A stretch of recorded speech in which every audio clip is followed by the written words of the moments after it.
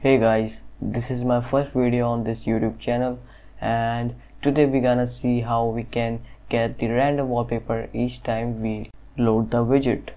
So first we're going to create a widget blueprint and going to name this random wallpaper. Let's open this up and search for the image. Drag it to the viewport and fit it to the screen After that, go to the graph panel and create a variable. I'm going to name this wallpaper and go to the variable type and search for the texture 2D.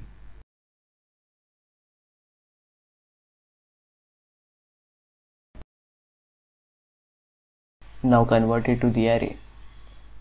Now compile and you can see these array elements you can add them and these are your wallpapers you are going to randomize. So select them from the content browser and click on little arrow button. You can also search them manually. Now compile and you can delete the unnecessary events. Now get the image to the viewport and search for the set brush from texture now connect it to the event construct. From the texture parameter search for get a copy.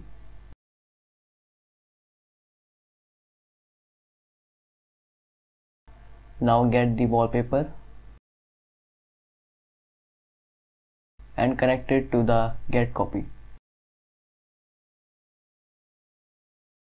Now search for the length and minus the integer by 1. Now search for the random integer in range.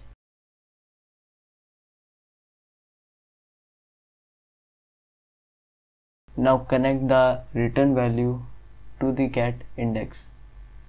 And this is how you will get the random wallpaper each time you load your widget. Now let's test it.